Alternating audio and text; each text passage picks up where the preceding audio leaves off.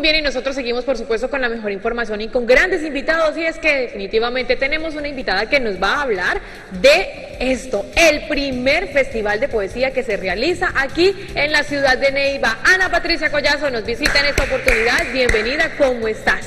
Muy bien, muchas gracias. Un saludo muy especial para todos ustedes y por supuesto nuestra nuestras ganas de seguir disfrutando de la literatura, de encontrarnos en la poesía y en las actividades culturales que tanta falta le hacen a nuestra ciudad. Por eso decidimos hacer este primer festival. No es un encuentro, no es una jornada académica, es un festival porque es una fiesta.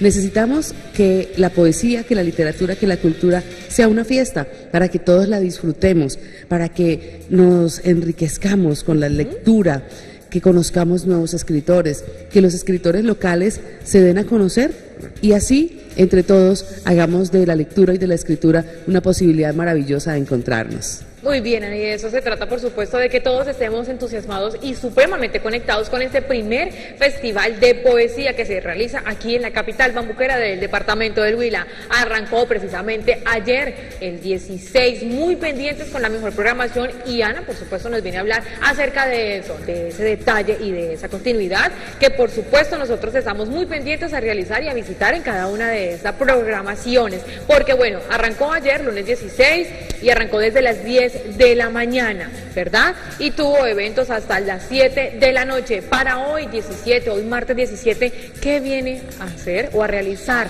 esta programación? Bueno, pues en las mañanas estamos haciendo actividades en los colegios porque la idea es que los jóvenes hagan parte de este proceso de promoción de lectoescritura a partir de la poesía en algunas instituciones educativas. Ayer estuvimos en una institución educativa en Algeciras, en la vereda La Arcadia, hoy en la vereda San Antonio de Anaconia, en Vega Larga. También estuvimos en otras instituciones educativas con amigos promotores de lectura que se han vinculado a la actividad pero los grandes eventos a partir de las 4 de la tarde. Ayer fue en la Biblioteca Departamental, hoy estaremos en la Biblioteca del Banco de la República. Todos ustedes cordialmente invitados porque a las 4 estaremos hablando acerca de poesía, pero también de las artes plásticas. Un conversatorio sobre cómo es eso de ilustrar eh, a través de la pintura los libros de poesía. Entonces, 4 de la tarde, Biblioteca del Banco de la República y luego Poesía de Amor. Lectura, un recital de poesía con poemas de amor en donde todos pueden participar. Una de las características de este festival es que no solamente vienen escritores invitados, nacionales e internacionales, sino que los espacios de lectura de poesía son abiertos a la comunidad. Cualquier persona, cualquier estudiante, cualquier universitario que tenga un poema que haya escrito o que le guste un poema de un escritor famoso y que quiera salir a compartirlo, tiene micrófono abierto. Porque el objetivo es democratizar la poesía. Es algo que nos gusta muchísimo porque hablábamos precisamente nosotros en interno de que esa vinculación hacia las personas que quieran participar en este evento es lo que definitivamente hace que esto sea de una manera más entusiasta, de que eh, se vinculen no solamente a los expertos, a las personas idóneas, a los literatos, a escritores, sino que también esa vinculación hacia la comunidad, a abrir tarima, a abrir micrófonos para que ellos también tengan la posibilidad de participar participar y en caminar de alguna manera en este tema de oratoria es algo definitivamente fascinante que nos enorgullece muchísimo y que nos agrada muchísimo contarle a nuestros televidentes, sobre todo con esa invitación que también nos hace Ana Patricia acerca de, bueno, ustedes quienes nos están viendo y tienen la oportunidad, tienen un cuento que han escrito, un poema que han realizado, eh, algo que quieran contar y transmitir, micrófonos, tarima abierta en este primer festival de poesía. Yo quiero que hablemos, Ana, acerca de eso que estábamos hablando detrás de cámaras y es que definitivamente personas a nivel internacional están muy pendientes de este evento. Sí, ha sido maravilloso porque surge la idea por, por iniciativa del Festival Internacional de Poesía de Medellín, que nos dicen, bueno, tenemos unos amigos en Neiva, hagamos un satélite de poesía en Neiva. Nosotros dijimos, listo, reunámonos, organicémoslo, hagamos un recital, pero en la medida en que fue, fuimos poniendo información en Facebook, empezó la gente a decir, venga, ¿yo cómo puedo participar? Yo quiero leer un poema otras personas de otras ciudades, yo quiero ir a Neiva, yo soy poeta, eh, yo soy premio internacional de poesía, pero quiero conocer Neiva, quiero ir a que me conozcan mi trabajo. Y pues así fue surgiendo una programación de toda una semana con más de 20 escritores invitados, con tres escritores internacionales invitados también y una cantidad de gente, amigos, aliados, empresarios perdón, empresarios que han querido vincularse y de verdad eso nos tiene muy emocionados porque ha sido una suma de voluntades. Este no es un evento, no es un proyecto de, de la institución, ni de la alcaldía, ni de la gobernación. Sí hemos contado con el apoyo de todas las instituciones, pero es un proyecto desde los escritores, desde las organizaciones, desde los amigos de la cultura y de eso se trata definitivamente llevar ese legado cultural de alguna manera, de la oratoria, de la escritura, de la literatura y algo que definitivamente nos enorgullece muchísimo y que esperamos que sean muchísimos festivales más los que vengan a realizar y los que se realicen acerca de la poesía. Pero yo quiero que hablemos un poco acerca de esta programación. Bueno, hoy tenemos eh, para las 10 de la mañana, las 4 de la tarde y las 5 de la tarde, algo que definitivamente no se pueden olvidar. Pero mañana, miércoles, para que las personas de una vez, Ana, se empiecen a programar para asistir a cada uno de estos eventos? Bueno, hoy en la noche a las 7 tenemos Café con los Poetas en Puntos Suspensivos, que ha sido otro de los aliados. En Neiva han surgido muchos escenarios culturales para que nos encontremos y promovamos la lectura y la escritura.